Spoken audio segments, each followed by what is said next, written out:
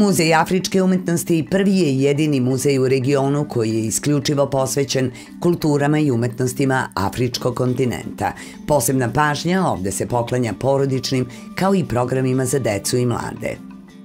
Imamo više programa. Jedan od eh, programa u muzeju održava se svake nedelje pod nazivom Nedelje u Mau. Tada deca sa, u pratnji sa roditeljima uzrasta od 4 do 12 godina dolaze u muzej, e, imaju stručno vođenje kroz tematsku izložbu i nakon toga kreativnu radionicu, dok u istom tom terminu svake nedelje od 11 do 13 časova roditelji imaju stručno vođenje kroz stalnu postavku i tematsku izložbu sa kustosima muzeja. Muzej afričke umetnosti ima dosta najavljenih e, grupa, da li su u pitanju osnovci srednjoškolci i studenti, tako da u principu za sve te uzraste su kreirani programi.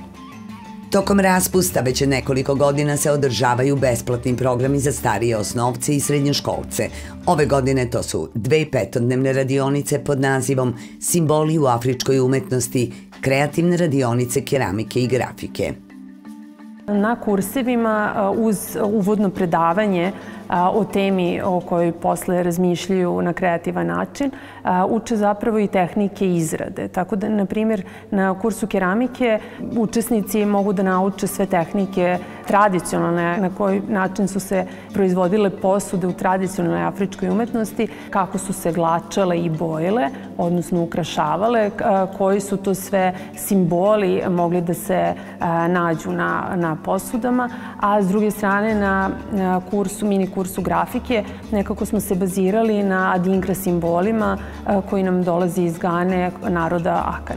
Na prethodnim radionicama u toku letnjeg raspusta e, bavili smo se temom aplikacija na tkaninama. Radionice vode Vajar Milica Josimov i kustos Marija Miloš. Prvo su upoznati sa keramikom, odnosno zbirkom koja se nalazi u Muzeju afričke umetnosti. U pitanju je ritualna keramika, ali i s druge strane upoznati su i sa keramikom koja se koristila u svakodnevnoj upotrebi. Tu postoje najrazličitiji visoki reljefi u kojima možemo prepoznati razne životinje koje su prema verovanju prve nastanile svet, te tako i učestvovale u stvaranju sveta. A s druge strane postoje najrazličitiji geometrijski simboli koji takođe mogu da se pronađu na keramici. S keramikom sam krenula u četvrtom razredu zajedno s mojom mamom. Trebali smo se prijaviti za neki konkurs, sam pravila nešto i ovaj, I tako malo po malo pa sam krenula s tim. Pravila sam razne stvari, kašike, ćupove, životinje. Svidelo mi se to što su naši učitelji vrlo komunikativni i naučili su me nove tehnike kao recimo stare posude mogu da napravim novu. Naučila sam da vajam bolje, da se ne radi to prstima nego dlanom. Stvarno je zanimljivo ovde. Na ove radionici smo naučili dosta različitih stvari. Da, da pravimo posude na različite načine. Izvlačili smo posudu iz posude i mogli smo da pravimo posudu i pomoću glisti. To je tehnika gde dlanom vajamo uh, glistice i onda ih uh, uvijamo i ređamo jednu na drugu.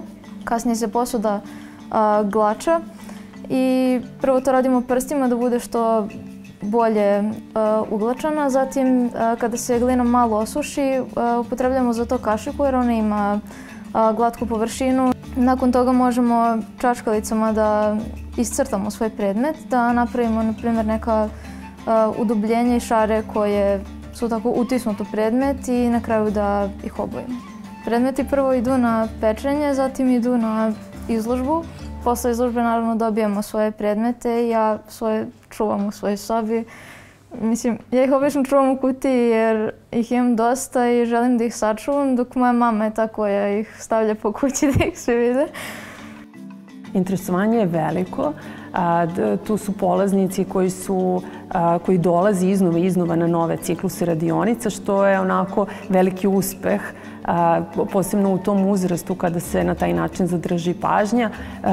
Po njihovim radovima zapravo može najbolje da se oceni koliko su oni zaista usvojili znanje i koliko, koliko ih zanima tematika. Muzej afričke umetnosti nalazi se u ulici Andre Nikolića 14 na Senjaku i otvoren je svakog dana od 10 do 18 časova.